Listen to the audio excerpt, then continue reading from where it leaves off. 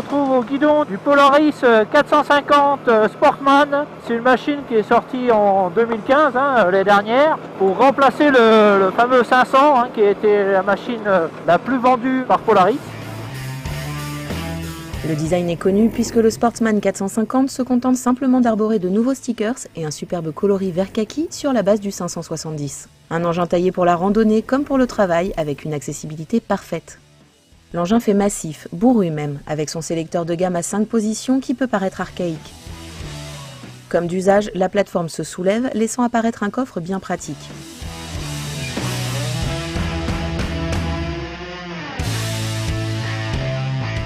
À l'arrière, la plateforme de chargement reçoit les poignées pour le passager, qui ne dispose pas d'emplacement dédié sur la selle ou les marchepieds.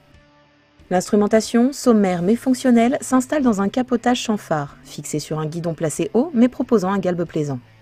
Au guidon, tout est archi classique pour une utilisation rapide et très simplifiée. À gauche, nous trouvons la commande de frein et les traditionnels commodos d'éclairage et coupe-contact. À droite, la commande du système de traction intégrale AWD de Polaris.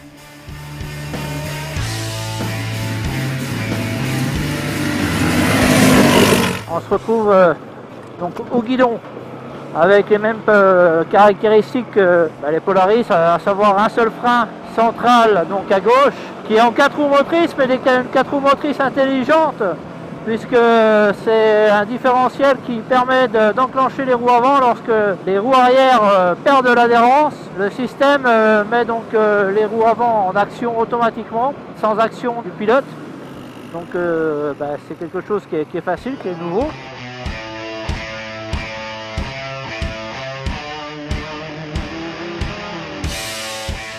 Le nouveau moteur ProStar monocylindre à refroidissement liquide est le même qui équipe le 570, mais en cylindrée inférieure, avec une puissance qui peut paraître un peu juste de 31 chevaux. Bon, le moteur c'est donc 450, euh, c'est largement euh, suffisant. Ça permet d'avoir euh, une bonne vitesse, de sortir des situations. La machine n'est pas trop lourde, hein, c'est agréable. Là, je prends de la vitesse. Le train avant est précis, le train arrière suit bien. Ouais, par contre, on est, on vite euh, à la vitesse maxi, quoi.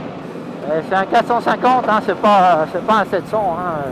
Il y a du couple, euh, bah, le rapport poids-puissance, est pas mal, ce qui permet de faire du franchissement. C'est une machine euh, qui est plutôt sympa. Et elle est surtout très très bien suspendue. Hein. La suspension avant euh, MacPherson euh, eh ben, fait bien son travail, hein, comme d'habitude, ça absorbe. Derrière, le train avec la barre anti-roulis ne se couche pas dans les virages. Hein. C'est un peu comme les anciens bras rigides, mais avec le confort en plus.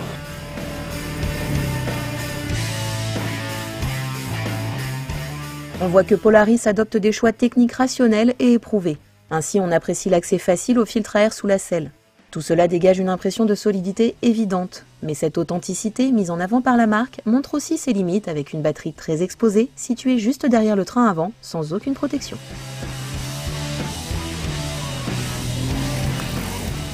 Je rattache une série de pierriers.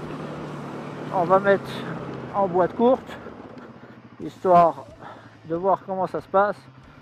Donc la vitesse passe bien, hein, on freine, on passe la vitesse. La précision est bonne. Là, on va aller dans des difficultés. Une petite grimpette dans les pierres.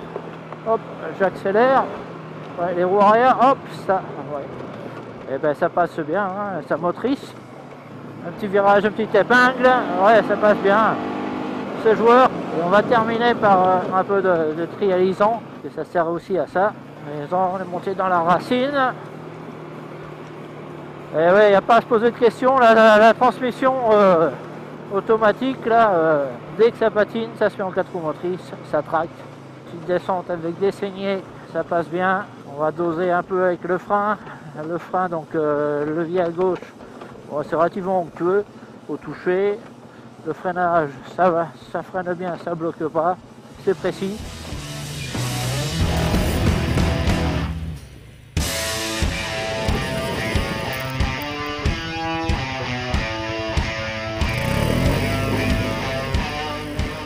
Voilà un digne successeur du 500, mais qui doit faire sa place à l'ombre d'un 570 toutefois plus cher. Son châssis est parfait pour la randonnée, mais aussi pour quelques runs plus sportifs quand le terrain s'y prête. Il est plus que jamais la machine idéale pour les débutants ou les pilotes occasionnels qui bénéficieront d'un engin ludique et éprouvé.